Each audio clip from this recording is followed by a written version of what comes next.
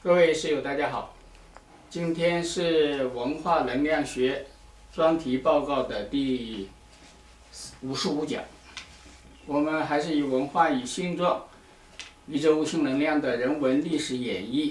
这本书作为蓝本来讨论文化能量学的理论。今天说第五章：文化性状的人的生命阶段性与能量性状的。全息还原中间的第三节，人类文化与文明历史演绎第一个期阶段，就是童年期的第一个阶段。第一点，人类的文化文明和个体的生命有相近的这个全息。演绎规律，所以这第一个期的阶段，对于个体生命来说，就是从出生到七岁之间这样一个阶段，而相对于物种呢，是从两千三百万年前到公元前八百年。为什么确定在这个时间段？因为两千三百万年前的，呃，一个与人相类似的一个原种，啊，灵长类的呃原种。呃，他在两千三百万年前发现的，作为人类的那个起点，对吧？那么至于这个公元前八百年呢，是因为这个时间段是人类的轴心时代。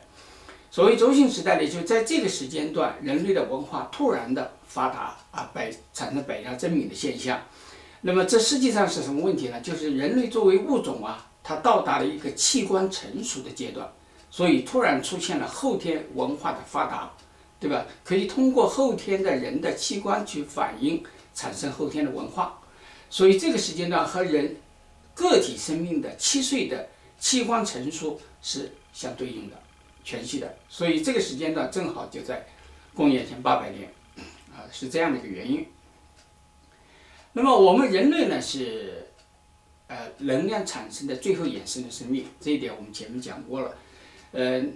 能量演化从高向低，所以人类所获得的这个衍生能量，实际上在整个天地万物来说是最低的。但是对于我们人类自身来说，这个时间段，这个第一个期，这个生命的第一个期阶段，它是这个生命的能量最高阶段。为什么？因为很简单，因为能量从高向低演绎，它所演化出来的任何物质形态都是能量降低的结果。所以能量降低了。呃，能量产生的时候，它的能量高于这个产生以后的这个能量，道理是是这样的。那么佛教解释我们人类的刚刚开始出生啊，不是一个很明显的现象，叫哇哇大哭嘛，而婴儿的哭，为什么要哭呢？那佛教解释说，因为人来到了一个苦海无边的世界。其实这个说法呢，是宗教教义的一个解释，它是目的是把这个世界按照它的教义方式描述。来使人们接近他的教育，其实是这样的目的。那么真正的原因是什么？就是这个能量它是没有形的，对吧？它是从无形转变为有形。它在无形的那个界面中和有形的界面中，它的所受的这个环境啊、界面、体温是不一样的。所以由于空气的温度啊、湿度啊、气候等方面的因素，所以它的那个出生的生命体的皮肤去接触这个外界空气啊，它有一定的张力。所以这个张力引起了婴儿的不舒服，所以就他一下不能适应这个环境，所以造成了他这个产生这个呃抵抗，就哇哇大哭的这个现象，其实是这样的一个因素造成的。那么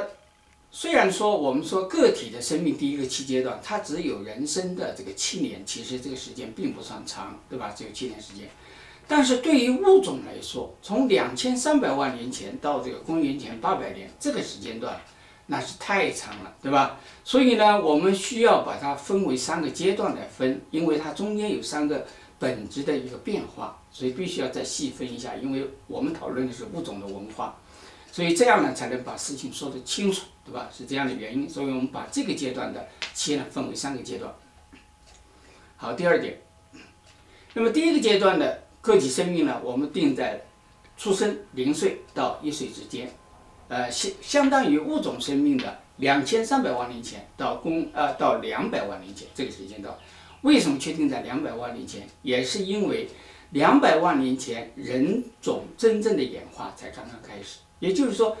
婴儿的一岁零岁到一岁之间，他还没有完全体现出人类的人性的这样一个特征的东西，还没有完全脱离那个动物，啊，是这样的。所以把它定在两千两百万年以后，人类的人性的东西。人类的文化意识产生了，那么这就体现人类的真正人类生命的演绎，才从一岁开始是这样的概念啊。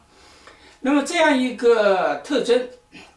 这个时期啊，它和动物是非常接近的啊，因为它器官也没有形成，也没有后天的智力，它完全体现为一个简单的动物生命，对吧？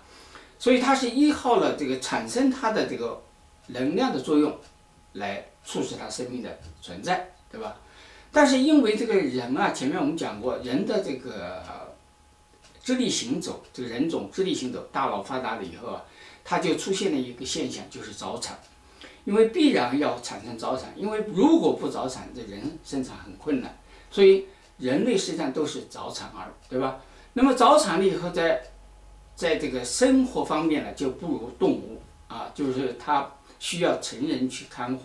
它所婴儿所。需要看护的这个时间段比一般的生命，动物生命要长得多，原因就是它早产，啊是这样的。那么确认这个两千三百万年的这个原因呢，就是我们刚才讲的，就我们人类现在考古发现的一个西瓦古猿，在两千三百万年前发现的，它和人类啊有一种相近的因素，可以认作为是人类最早的起起源。但是它虽然没有这种完全的人类特征，它有类人特征，但是它跟人类的发展有关系，是人类物种的演化的起点。那么这个事情，呃，西瓦古猿的出现，它的原因由于这个四千五百万年前的一个一次地球的运动，就是印度次大陆的漂移，从非洲的东南面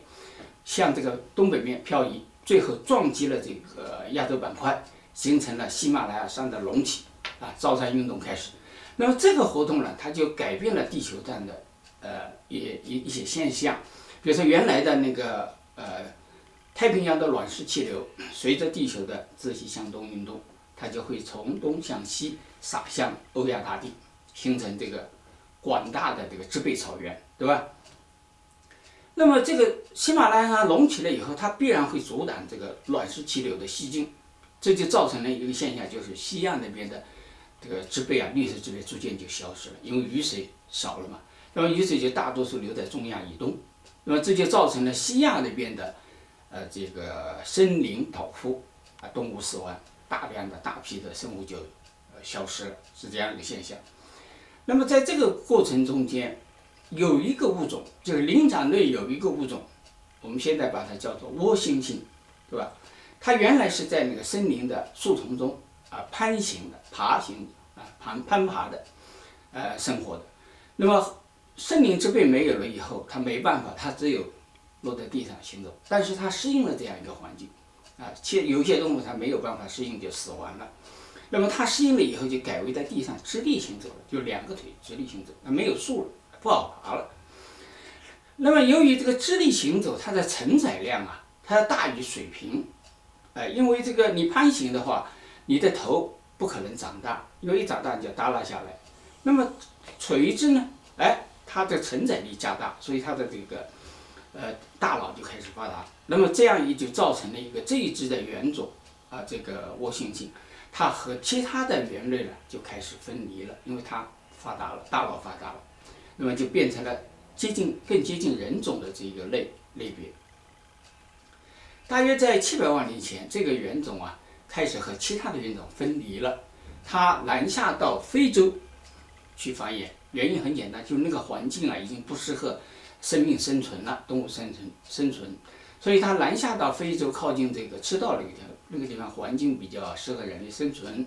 那么大约在五百五十万年前繁衍出了跟我们现在人类似的一个 S 脊椎型的这样一个直系祖先，就是南方古猿，因为这个地点相对于原来的位置是南边。所以把它称为南方古猿。那么在后来两百五十万年前就衍衍生出了一个新的物种，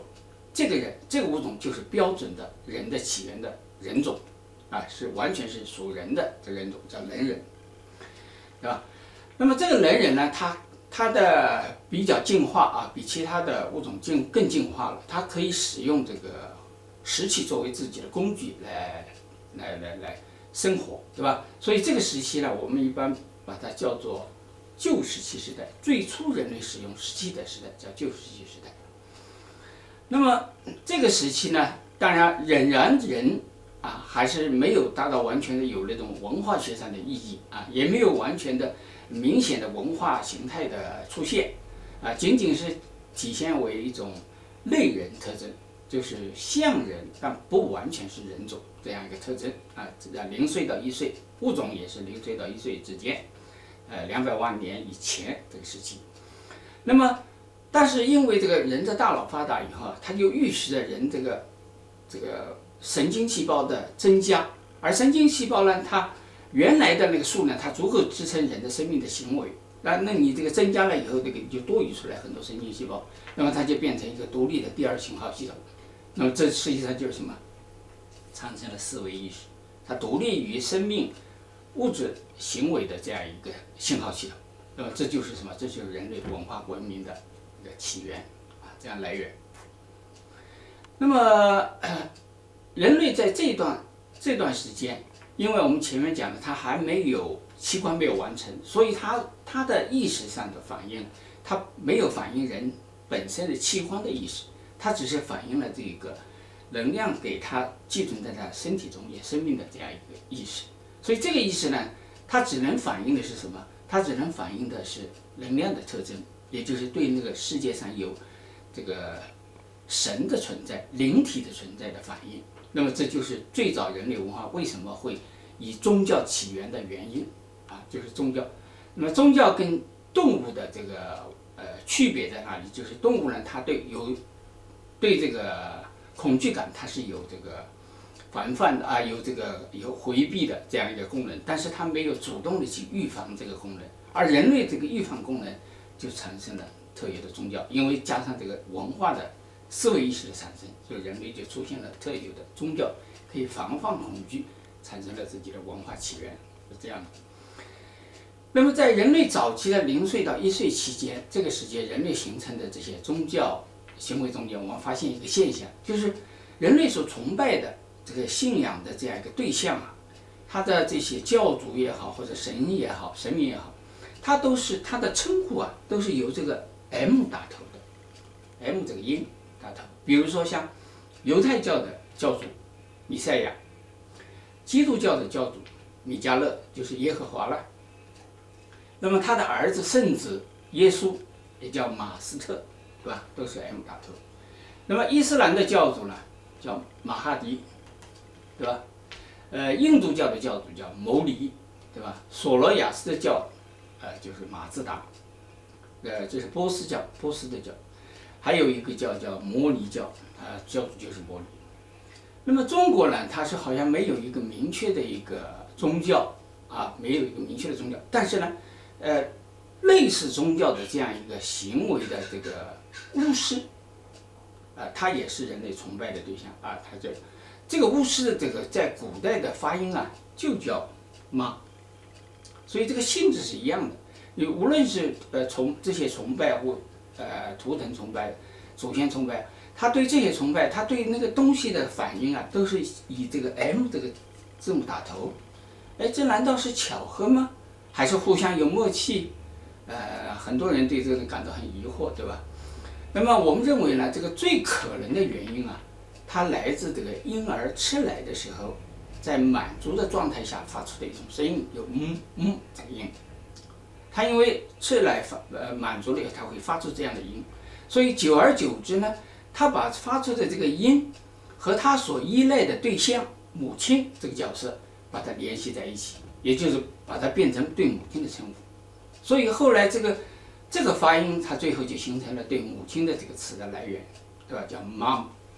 全世界所有的文字啊，你只要这个呃说母亲的这个词，它一定跟这个发音是非常接近的。这其实就是一个物种演化的一个现象，对吧？那么这个演化现象从个体生命，它逐渐就演变成人类的精神意识上的一种发展、演绎发展，那么就成为人类所崇拜的对象，最早崇拜的宗教信仰的这个这个对象的一种称呼，所以才会出现大家都是以这个 M 打头来称呼自己的信仰对象，原因就在这里。好，第三点，那么第二个阶段就是个体生命的一岁到三岁这个阶段，啊，这个阶段呢，相当于物种生命的两百万年前到一万年前的事情。那么为什么定在一万年前？这个也也是有道理的啊，呃，相是根据生命的这个演化、文化的发展的这个状态相吻合的这样一个状态时间。那么这个时间段呢，是很明显，就是人和自动物啊产生区别了，就是人真正进入了人类人性生命、人的生命的特征的这样一个开始阶段，就从一岁开始。那么这时候的器官开始形成了，对吧？人的器官。那么这个，而且很明显，这个符呃，在时空界中以两性来繁衍。啊，器官包括性器官，对吧？所以这个婴儿他本身也是两性器官的产物，对吧？那么这个时候到了一岁以后，婴儿的最大一个特点啊特征呢，就反映出来，他有一种想表达啊这个意思的这样一种现象，就是开始张嘴巴啊，想想表学牙牙学语啊，这实际上就是人的一种文化意识的开端，就是人类要表达自己的这种。后天器官的文化意识的开开始，那么另外就是蹒跚学步，对吧？我们知道婴儿都是在一岁左右时间开始学，哎，学这个学走路，啊，这就预示着这个人生啊是从这儿这个时间段开始的，开始人生旅程的训练开始。那么作为物种生命呢，那个时间段正好是第四纪冰川的结束期，这个环境呢非常适合人类的物种的扩张生存。所以这个个体的，我们说在零岁啊，在一岁这个时期的牙牙学语，啊，实际上就是整个物种的文化显态文明化的开始，准备开始产生文明了，就是具有了文化特征以后开始世界产生文明这个时间段。那么这个蹒跚学步呢，它就是这个物种啊，呃，开始。离开自己的居住呃这个产生地，准备走向世界的一个起点，这种学步就实际上就开始行走了，对吧？开始会走路了。根据美国斯坦福大学穆里斯教授的这个数据啊，公元前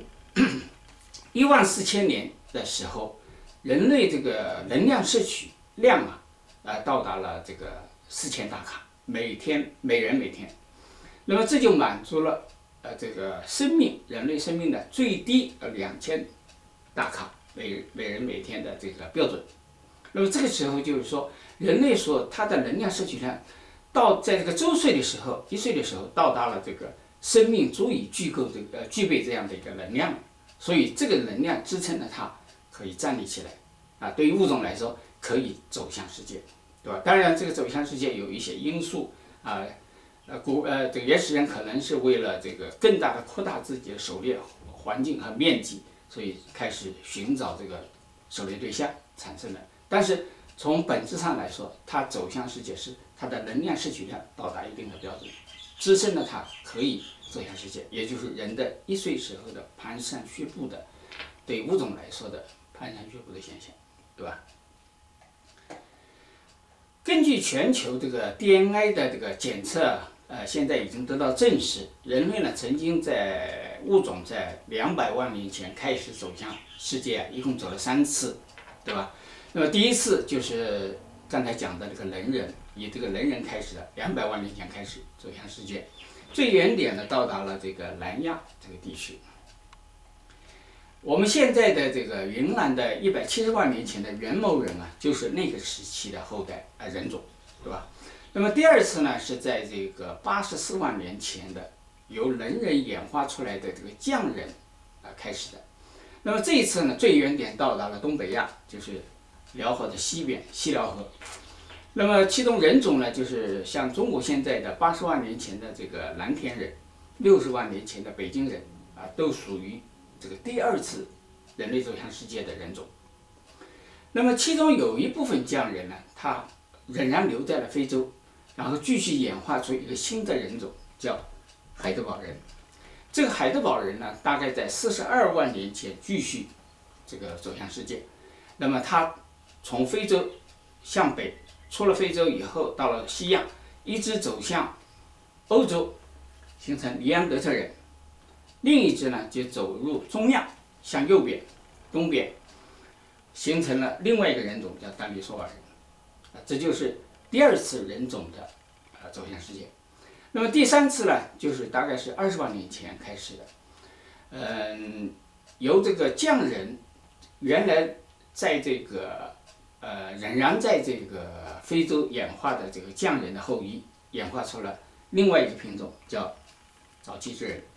那么这个早期智人在十二万年前又开始走向世界，呃，这次走向世界呢，它就跟前面两次有点不同，可能是因为这个地球的那个磁磁磁星啊，呃转转动的这个角度的问题，造成的这个海水下降，所以这个人类啊，在这个时期很轻松的北边越过了白令海峡到达美洲，南边越过提摩海峡到达大洋洲。就很轻松的就走向世界了，就是由这个早期智人开始的。那么这个时间段呢，就是在第四纪冰川后的，呃七七万五千年大概这个时间段，啊这个间冰期吧，这个之后，然后人类整个遍布世界，大约在一万年前，这个人类啊。呃，由这个早期智人转变成晚期智人，因为这个时候的环境已经非常适合人类生存了，然后整个人类也遍遍布世界了，所以整个这个时间就开始了我们人类的历史。人类进入母系氏族社会，人类历史正式拉开序幕。这个时间段和《圣经》里面所讲的一万零四百年这个时间段是完全相符的。那么，瑞士有一个。儿童心理学家皮亚杰，他在他的一本书里叫《发生认识论原理》里面，讲这个儿童的心理啊，分为四个阶段，啊，这个第一个阶段就是从我们讲的这个一岁儿童的一岁到三岁这个时期，啊划分的。那么这个时期呢，他把它叫做感知运动阶段，就是儿童心理的第一个阶段。那么这个阶段的最大特征是什么呢？就是人的意识啊。它这个主体和外在的客体没有分离，也就是说，它主体就是客体，客体就是主体，它就是自然的一部分，这就是当时的一个状态。一岁到三岁，那么主体和客体没有分分离，就意味着人性、人的人性、人类的人性和物性、客体自然的物性没有分开，没有分离，人没有抽离出来，所以他意识不到自己和自然的区别。啊，这个时候时间段，那么他的思维呢，也就是一维的。所谓一维的，就是一个点没有动，他自己就是这个自然一部分。那么到了后期的时候，他开始这个点开始移动了，就是他能把自身当做了客客观世界中间的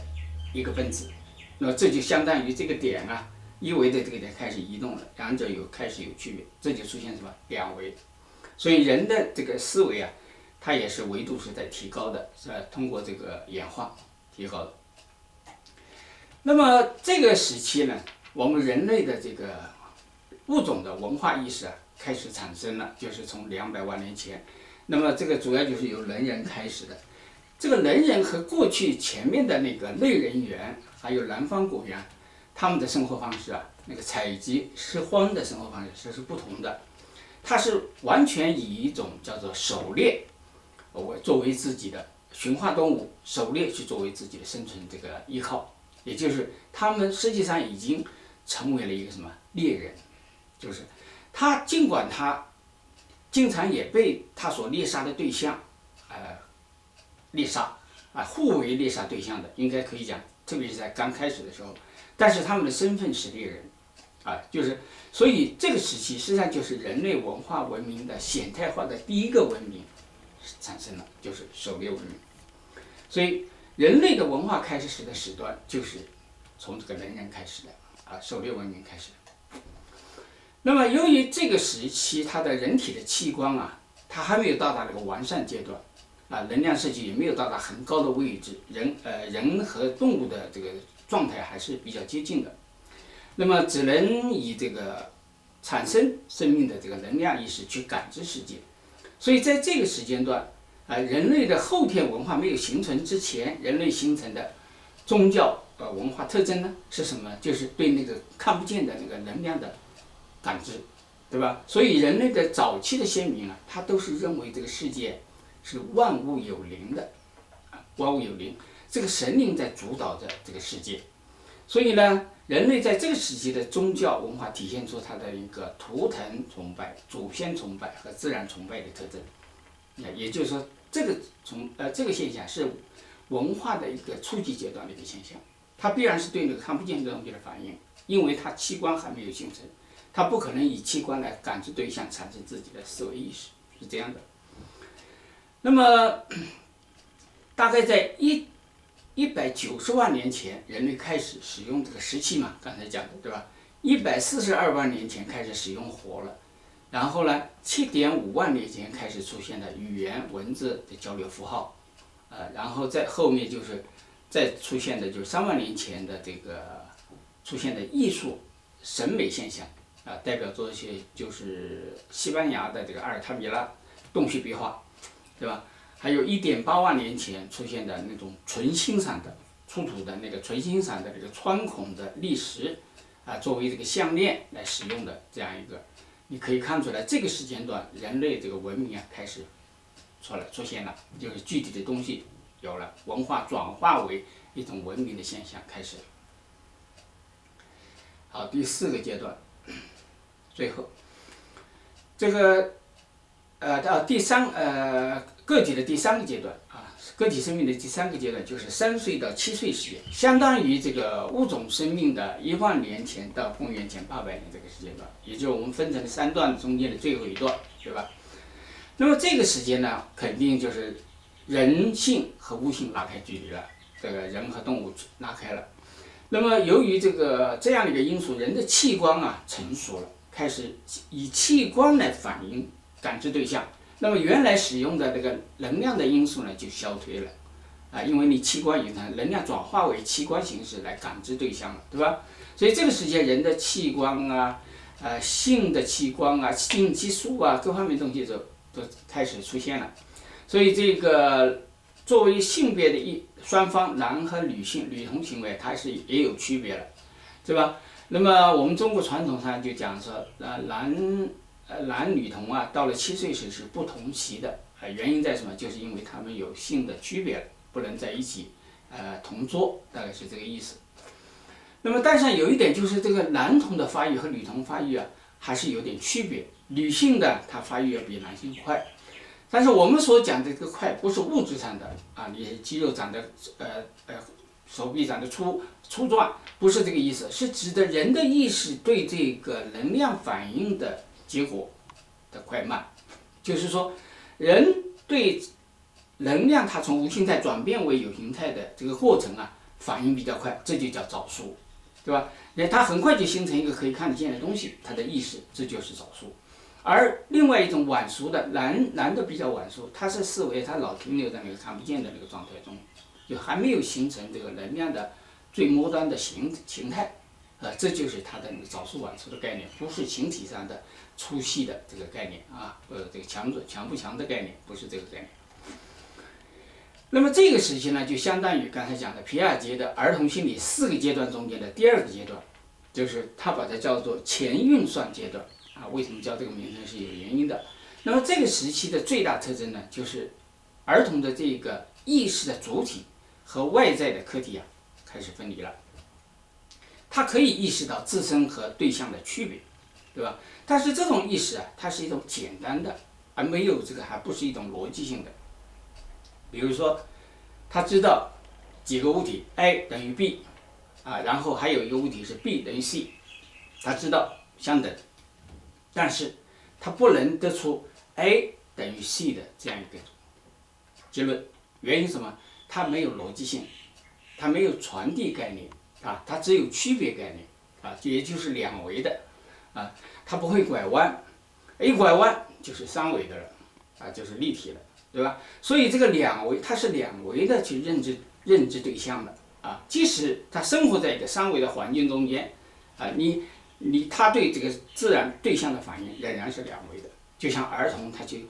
描绘对象，那这个对象明明是三维的，但是描绘出来的这个上面它是一个两维的东西啊，这个原因就在这里，它这个时期它就反映出它的思维意识的两维特征。那么作为物种呢，人类已经完成了自己的三次走向世界，对吧？整个世界都布满人种，环境气候变暖了，非常适合人类生存啊。然后人的后天文化，因为在器官的成熟，它的文化发展成了一个加速度的现象啊，快速发展。那么这个时期开始出现了这个人类的文明，前面讲的那些工具啊。使用啊，再加上现在后来出现的这个语言开始发达了，啊，人种从能人将人转为智人，语言也开始出现了，对吧？大概公元前九千五百年前的时候，这个人类呢，呃，生产方式啊，放弃了这个狩猎方式，转向了另外一个对植物的驯化，也就是农耕，进入农耕文明生产方式。啊，这个进入农耕生产方式，它其实跟环境也是有关系的，因为这个。自然中间，它可以获得一些雨水比较多的地方，它地上自动可以长出一些庄稼，啊，可以吃，可以满足人的这个生存，所以它很快在很多地方这个雨水比较充足的地方、温暖的地方，它就可以转变为这个农耕文明了。这就是农耕文明出现的一个原因。那么这个转变为农耕文明了以后，就出现了一个现象，什么现象呢？就是。这个食物啊，跟过去不同。狩猎文明的时候，你打的猎物啊，你然后分给呃大家都吃掉，就必须一起就要吃掉。为什么？因为它不能存，一存就坏，肉就坏了，对吧？所以他打来了以后，他就不分你我的，都是大家的，大家统一的，一定要全部吃掉啊。也有可能今天打的少，大家吃的少；但打的多，大家也吃的多，对吧？是这样的状态，也就是说不分你我。没有区别的这个状态什么状态呢？是公天下，对吧？状态。那么到了四呃，到了这个农耕文明不同，农耕文明的收获它是可以储存的，像麦子啊、玉米啊、高粱这些东西，它可以这个晒干了以后可以收缩、可以储存。那储存了以后就出现一个什么现象？出现了私有制、私有观念。为什么？因为你能力大小体现在你的这个储存能力上是不一样的。你能力大，你可以储存多，你收获多，你储存多，那么这就出现什么现象？我拥有的多，他拥有的少，这不就是私有私有概念产生了吗？那么这个私有概念产生，必然产生接下来产生什么？产生阶级分化啊！我拥有多的人和拥有少的人，他是不一样的，所以这样就产生了这个阶级分化。那么阶级分化，我拥有的东西我可以储存，我干嘛要给你吃呢？对吧？我不能。呃，这个这个不能这个没有理由的呃贡献出来嘛，对吧？所以它产生了这个私有观念，呃，私有财产的这个概念概念。那么那个时候的社会，原来这个母系社会就崩塌了，就整个社会由母系的公天下这个这个体制啊，转为父系的家天下。因为财私有财产了以后，他这个东西不转给人家了，他只有留给自己，因为他可以储存啊，对吧？所以就产生了不同群族之间的对立。等级差别，阶级对立，那么进一步就会产生什么奴隶制？因为有钱人、有能力的人，他可以去呃使用这个这个这个奴隶对象来达到他自己的目的，那这就整个社会就改变了。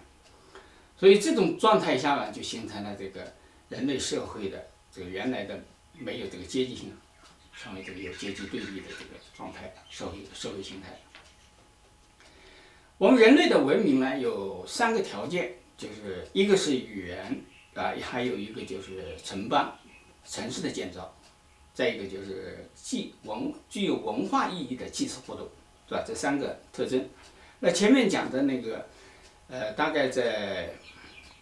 公元前五百五百五十呃五千五百年吧，产生的这个人类的文字，呃，就已经开始了，对吧？就这个时间段。呃，特别是前面我们讲的苏美尔的这个楔形文字，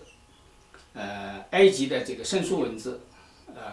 古印度的这个印章文字和中国的这个甲骨文字，对吧？这个已经形成了。那么后来呢，又开始出现了这个城邦的建造，对吧？大约在四千三百年到三千五百年元年公元前啊，苏美尔已经开始出现了原始城邦啊，开始城邦建造。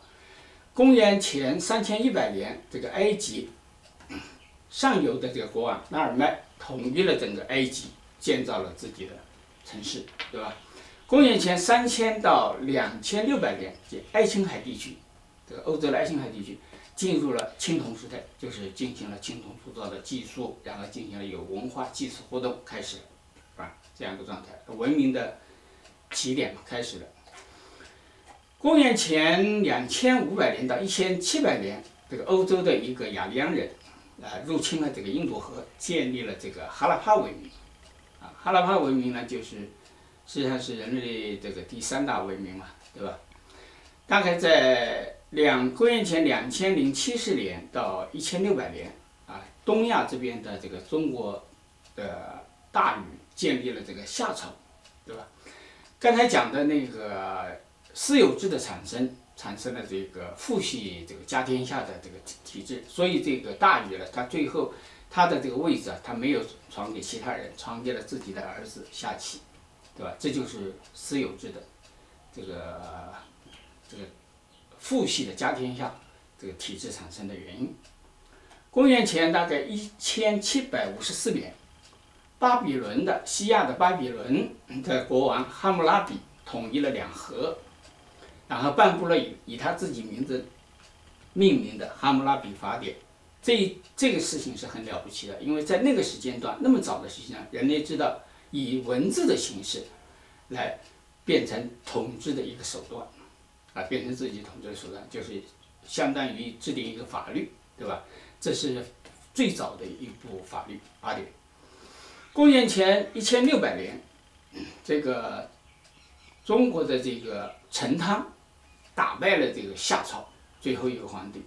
然后建立了什么商朝。公元前一千两百五十年，希腊城邦的这个麦西尼去征战这个特洛伊，就是我们所知道的这个特洛伊木马这个故事的来源，对吧？公元前一千零四十六年，这个周武王啊征伐呃这个商朝的最后一个皇帝，然后打败了商朝以后，建立了周朝，对吧？改改朝换代了。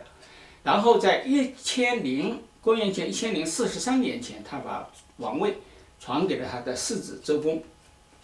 啊，然后这个周公呢，去呃去去延续他的这个周朝，对吧？公元前一千到九百六十年，啊，犹太的这个各个氏族，呃的一个大卫王，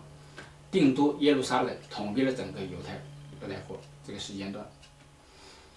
在公元前八百年，这个最后的这个时间段，印度呢进入了这个后斐多期，就是这个它的一个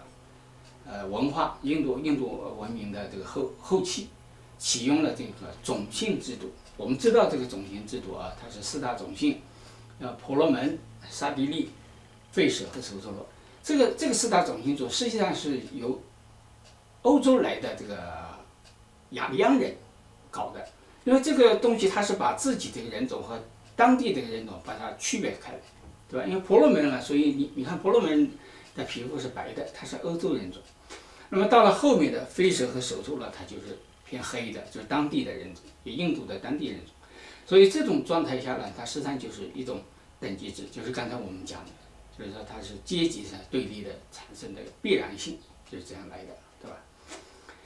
那么人类的这个文明呢，呃，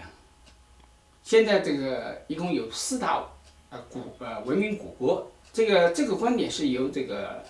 中国的这个清末明初的学者梁启超先生提出来的。他认为世界有四大文明古国，